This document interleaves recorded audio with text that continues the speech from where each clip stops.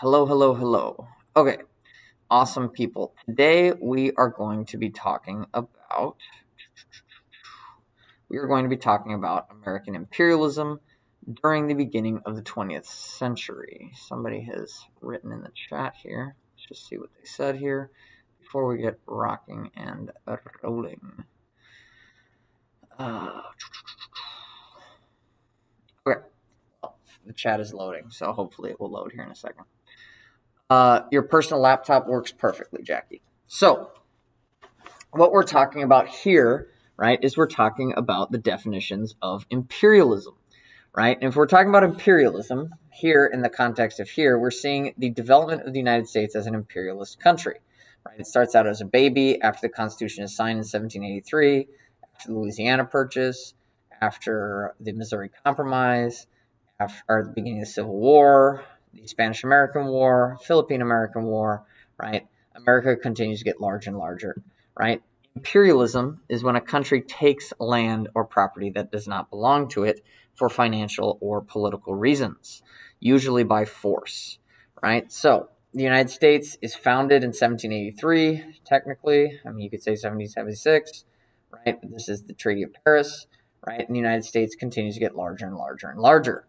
This process of taking land is called, you guessed it, imperialism. So, imperialism is a state policy or a practice or advocacy of extending power and dominion, especially by direct territorial acquisition. So, basically, taking land or things or places or people and gaining political and economic control of other areas. So, for instance, right, talking about imperialism here, right? if we're talking about imperialism, this is a policy of extending a country's power and influence, right? Now, the United States, the period that we're talking about, becomes imperialistic internationally, right? But let's think about imperialism as taking land from other countries.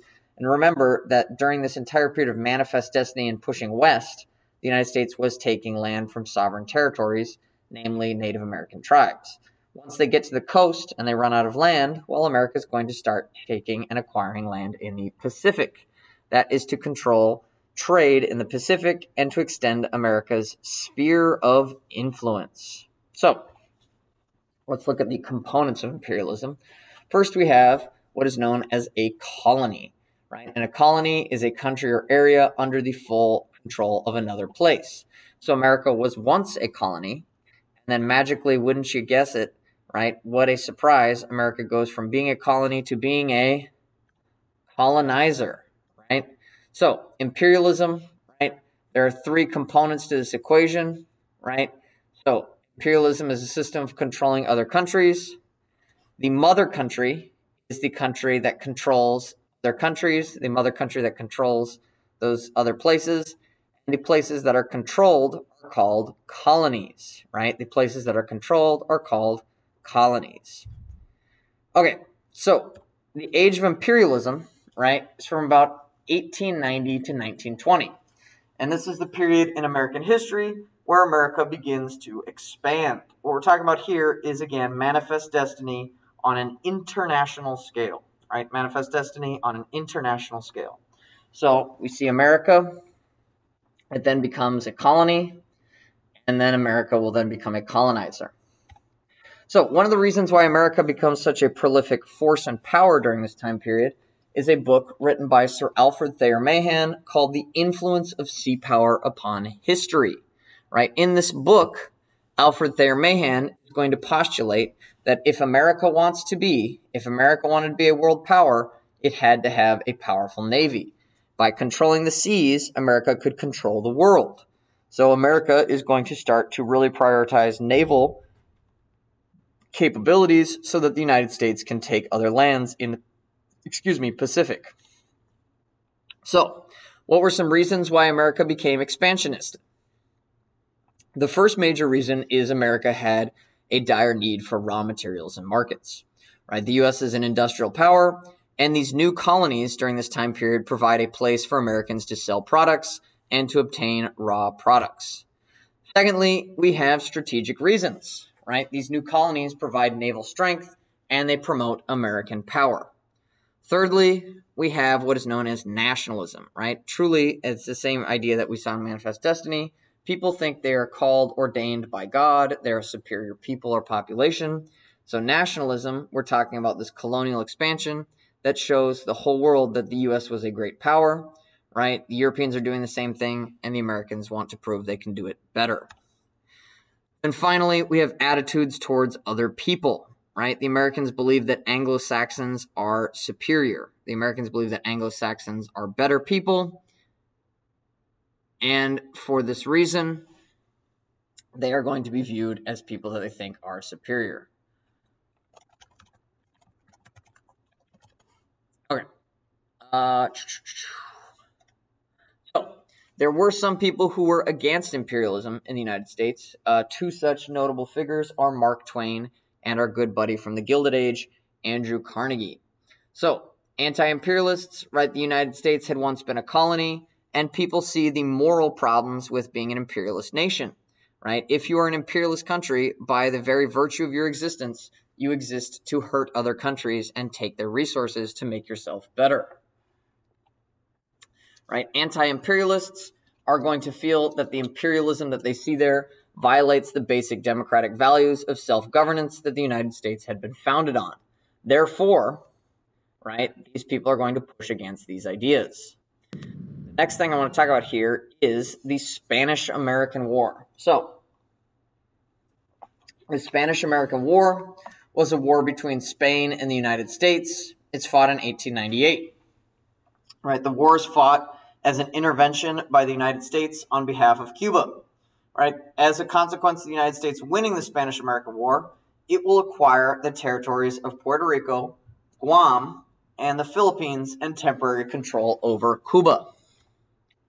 So, Spanish American War is between the United States and Spain in 1898. It is fought uh, in Cuba, really, it begins in the harbor, right, of Havana hell with Spain, remember the Maine, right? The ship, the United States ship, uh, the USS Maine is sunk, and the United States is going to use this as a rationalization to go to war, right? Uh, then we have a series of sensationalist publications in what is known as yellow journalism, right? And for Pulitzer and Hearst, these people are going to raise paranoia. They're going to make people very scared and believe that things are getting out of control as a consequence, what this is going to do is it then sets forward uh, a national sentiment that makes people amenable or receptive to war. Right? Ultimately, the war is going to end with the Treaty of Paris, and the United States will pass the Platt Amendment, more or less saying that we will not step into Cuba if not needed. However, uh, the United States at this point has pushed itself onto the global stage, de- defeating Spain. Right. One person of note here is President Roosevelt, right, uh, as the leader of the Rough Riders and someone who wins the Battle of San Juan Hill, right? He is able to be successful in the Spanish American War. Uh, so, again, here's Cuba, right? This will become important when we start talking about the Cold War, but it's, a, it's an island about 90 miles off the coast of Florida. So, Cuba, right, is the largest island in the Caribbean Sea.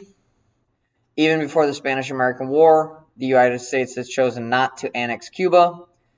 Cuba does become a protectorate until the passage of the Teller Amendment in 1930.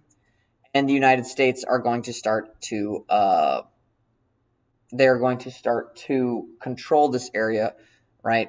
Basically, for the purposes of uh, an economic relationship that is exploitative.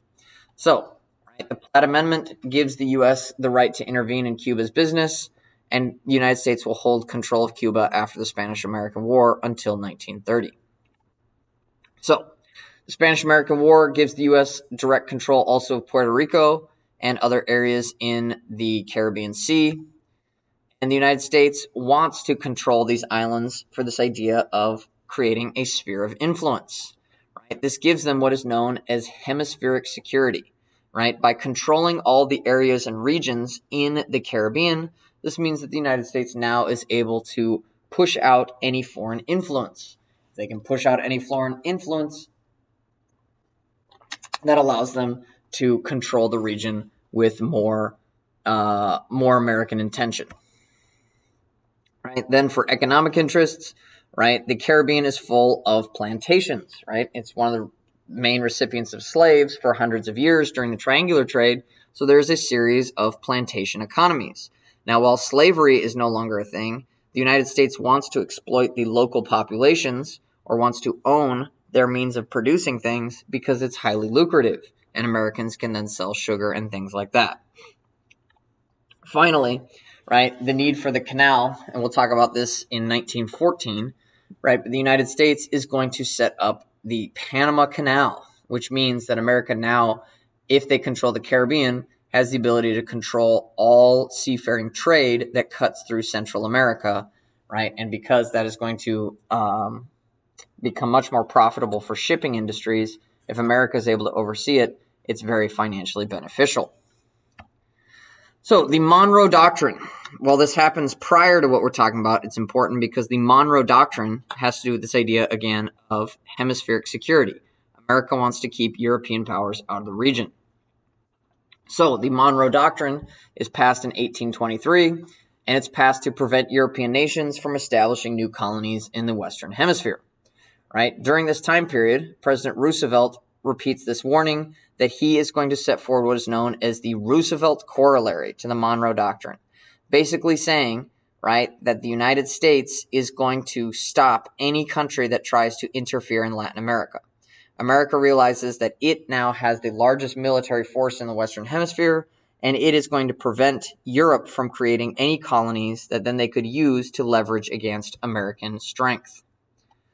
So, Right? The Roosevelt corollary is what is known as this idea of a big stick policy, right? The idea that they're going to constantly threaten other nations to ensure that America is always the predominant military power in the Western Hemisphere.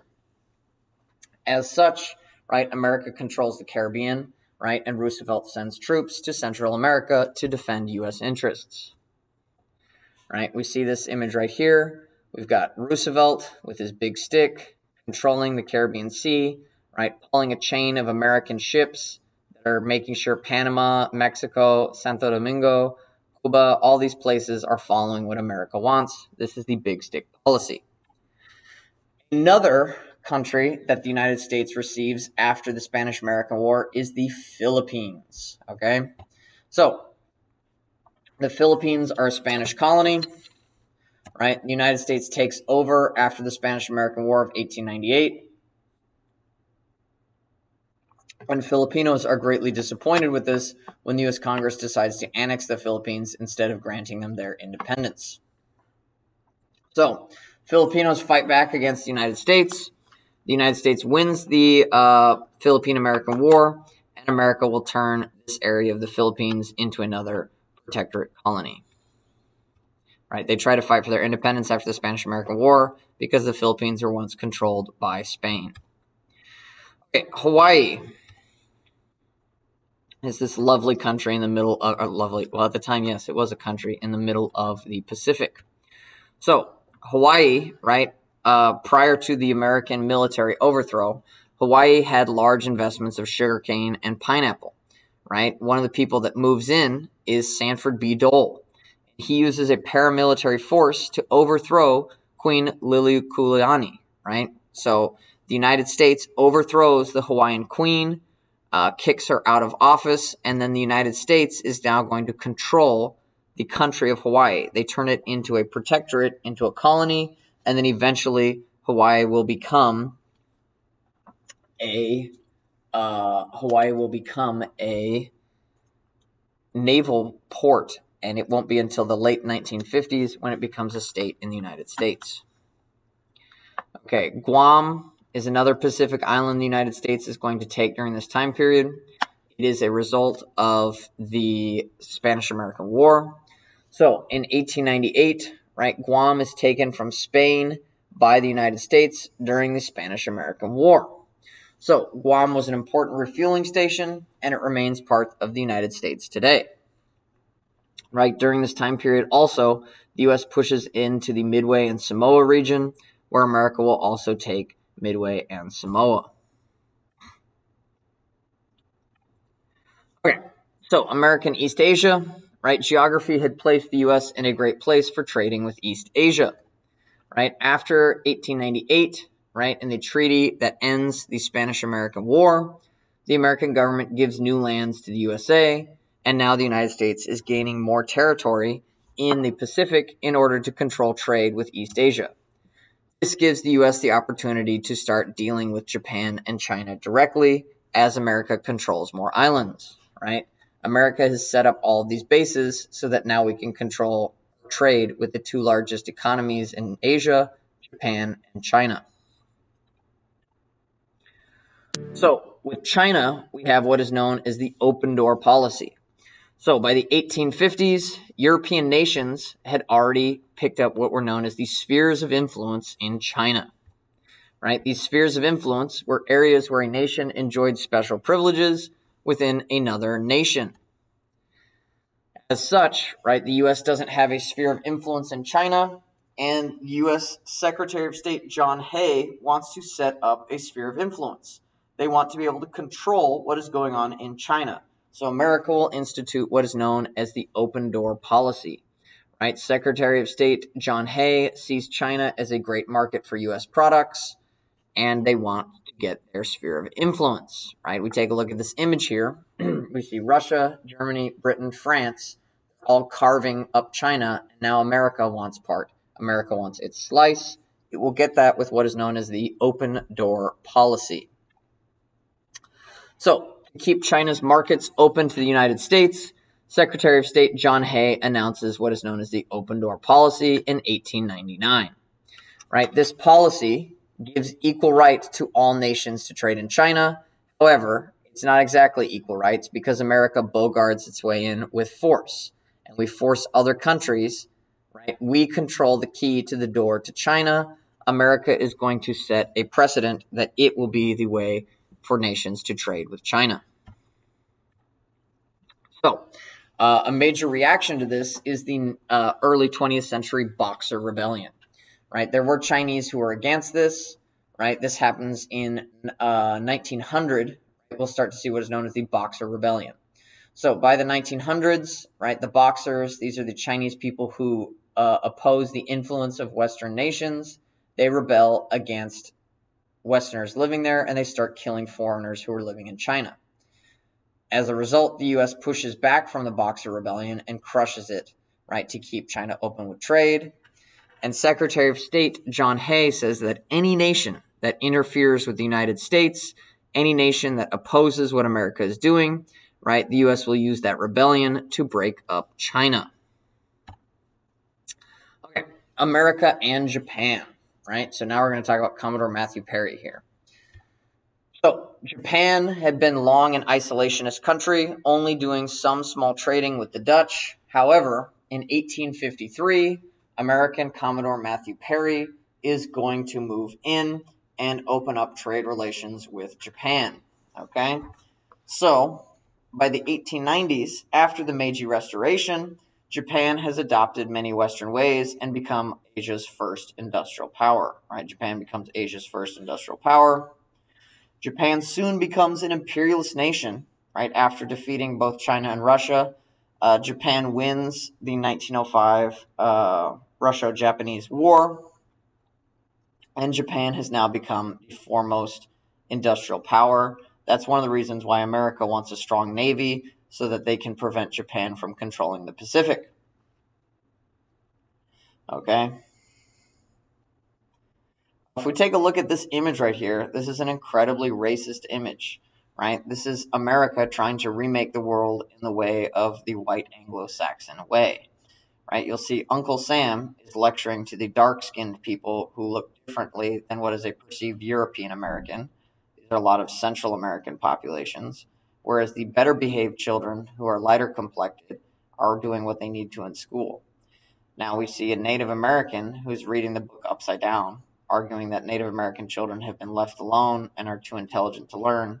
Because of the 1882 Chinese Exclusion Act, they don't allow the Chinese child to even learn, and the African American child is done up in Jim Crow mockery with janitorial duties, right? This is a cartoon satirizing how evil and how ugly this time period was when we're talking about racial nationalism. Okay, Puerto Rico. So, Puerto Rico is a small island nation in the Caribbean Sea. Right? The US sets up a government for Puerto Rico that is selected by the US president and approved by the US Congress. Therefore, right, Puerto Rico is considered to be a territory of the US and its people have US citizenship. Right? Puerto Ricans control their own internal government, but Puerto Ricans do not have the ability to vote and they don't have representation. So the United States still controls this area, still has this area to work as it is and as such, right? But Puerto Ricans are now under the U.S. sphere of influence, but they're not given the full capacity of political and electoral rights to be able to advocate for their own agency, right? Citizens are still not eligible to vote in national presidential elections. Okay, the Panama Canal, right? Here we're talking about Panama here. We're going to talk about the waterway, the man made river that is cut through Panama that is going to allow the United States to trade more easily after the Spanish American War. So, during the Spanish American War, right, U.S. warships had to sail 16,000 miles. They had to go all the way around South America to get from one ocean to the other. They had to go from California to Cuba. Panama, however, right, is the narrowest point, right, in Central America, and it was the logical place to build a canal, a man made river. So, at the time, Panama was part of Colombia, right, and oh gosh. Panama was part of Colombia, which had refused to allow the U.S. to build, right, this canal. They had to go all the way from California, all the way around, through the tip of South America, and into the Caribbean. Right here is Panama, as we see right here. What they did is the old route had to go all the way around South America. The new route was much shorter. Okay, so President Roosevelt during this time period right? President Roosevelt offers the Panamanians independence if they would allow the canal to pass through the Panama Canal Zone, right? President Roosevelt is going to use the United States Army to defend Colombians, sorry, to defend Panamanians from Colombians, and this allows the United States, and as a tit for tat quid pro quo, the United States is going to get the ability to build a waterway through Panama so people can do trade.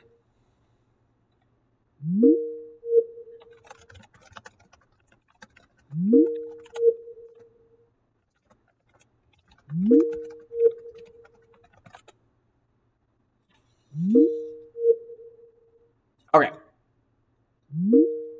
Uh, so, President Roosevelt immediately begins construction of the canal once the United States liberates uh, Panama from Colombia.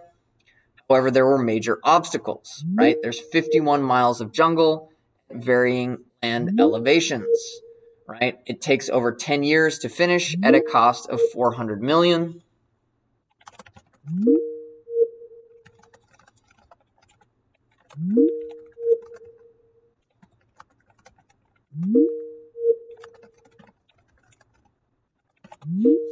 Right?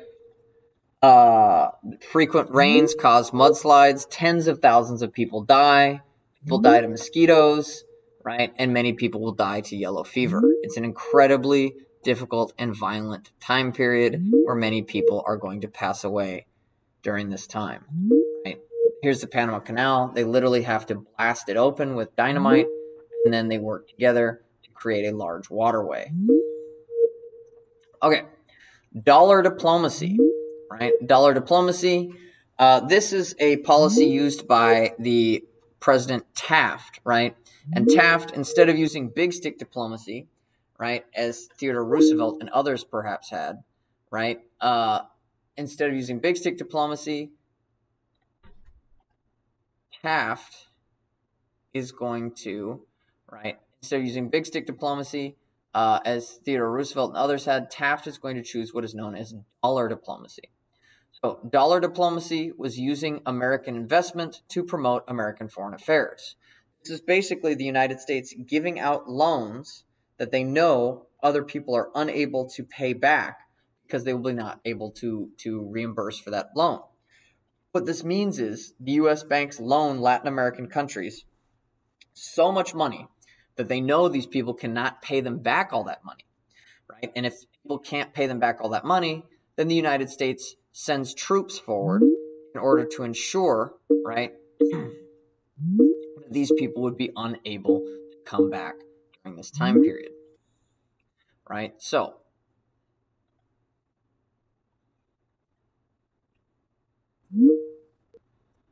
let's see.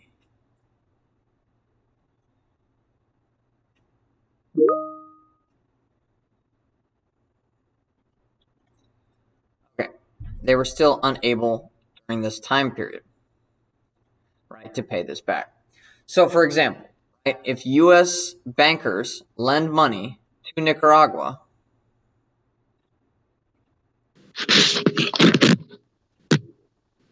Mr. Dobbs?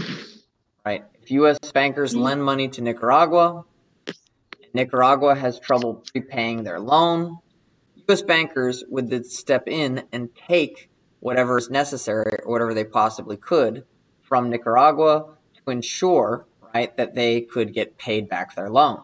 So they would send them a loan they know Nicaragua can't pay for. They would send them a loan that people uh, would be unable to cover. And the idea would be through dollar diplomacy, they're able to come back and take all of these things.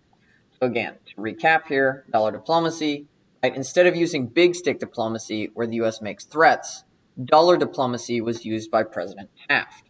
And dollar diplomacy was a system, right, used by President Taft, basically set up US loaning money to Latin American banks.